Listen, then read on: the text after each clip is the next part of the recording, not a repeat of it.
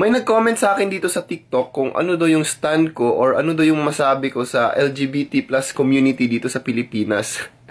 Ang weird na question, di ba? Siguro ang masasabi ko lang is I support them. Pero ayaw na ayaw ko talaga lumapit sa mga bak... I'm sorry ha na putol. Ang ibig kong sabihin kanina, ayaw na ayaw kong lumapit sa mga baka. Kasi mahilig ako ng chupa. Sorry na putol na naman. Ang ibig kong sabihin, mahilig ako ng chupageti. Kasi marami yung beef, so baka maamoy ako ng baka, tapos baka atakihin nila ako.